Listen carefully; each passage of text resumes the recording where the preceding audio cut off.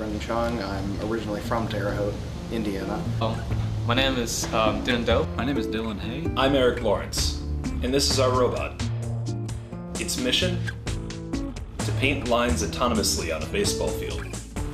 We use vision recognition to uh, draw the foul pole, to do a more accurate things. We Use GPS to guide the robot back to the home base.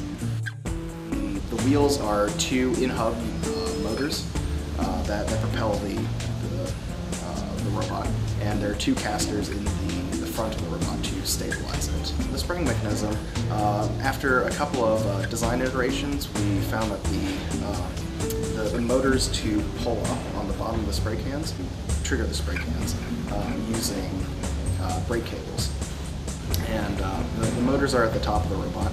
It, it travels down to the, the, spray cans, which pull on the, the, the spray cans and uh, leaves a, nice line. We use Vision Assistant, uh, which is a pretty very handy um, little module. I think um, we filter out the um, color that we don't want, um, but only the um, color of the foul pole, um, and then we use Vision uh, Assistant to find the tallest rectangular shape that we can obtain, um, which is the um, foul pole. It's a very easy uh, module. I love it.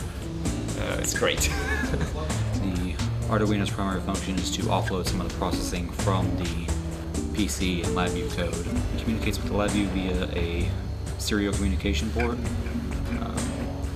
It handles the firing of the spray cans as well as uh, various uh, temporary stops, i.e. bumpers, the start-stop button for the whole robot. The bumper system uh, is intended to prevent uh, prevent people or other objects from uh, hitting the robot, or the robot from hitting those.